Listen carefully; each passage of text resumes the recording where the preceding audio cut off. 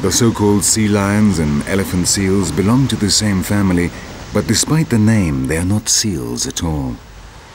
Here in Tasmania, there are huge colonies along the rocky coast, right along the line of the split from Gondwana.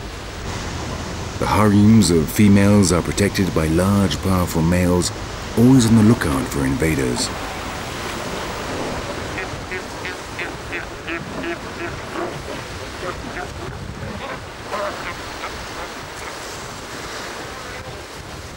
The sea lions and elephant seals, in contrast to true seals, have small visible ears at the sides of their huge heads, and they can move upright on land with relative ease thanks to their limbs, which are much more functional than those of their cousins.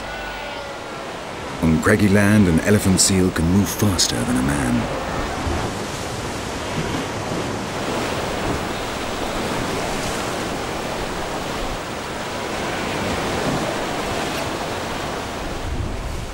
When they are not busy sunbathing or fighting, the elephant seals swim, which they can do very well.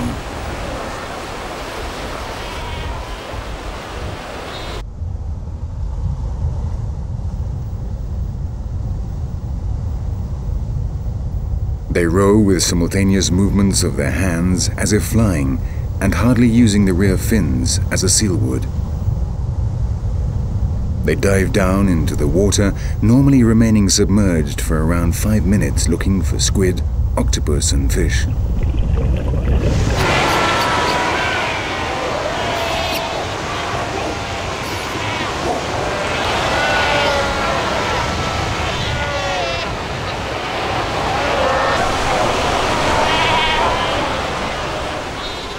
The interesting thing about these Australian seals is that we can also find them much further away, 5,000 kilometers from here across the Antarctic on the frozen coasts of Tierra del Fuego in South America.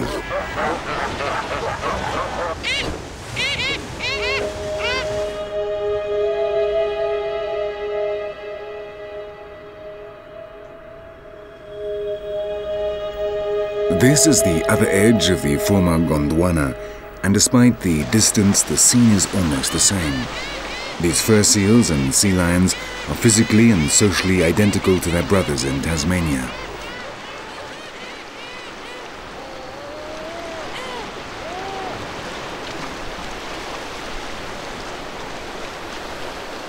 But the similarities don't stop there.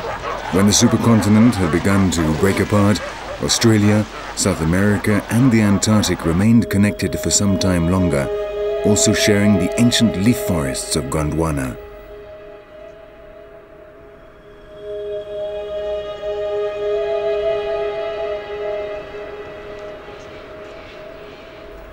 The final refuge of these austral beech trees are precisely in Tierra del Fuego and in Tasmania.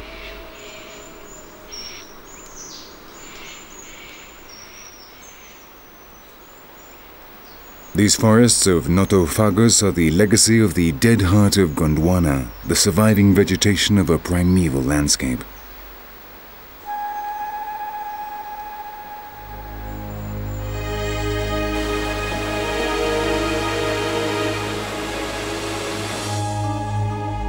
Australia then became an isolated continent. Terra incognita australis largely turned to desert thus starting down the path of separate evolution, and below it, the small island of Tasmania, the Green Island.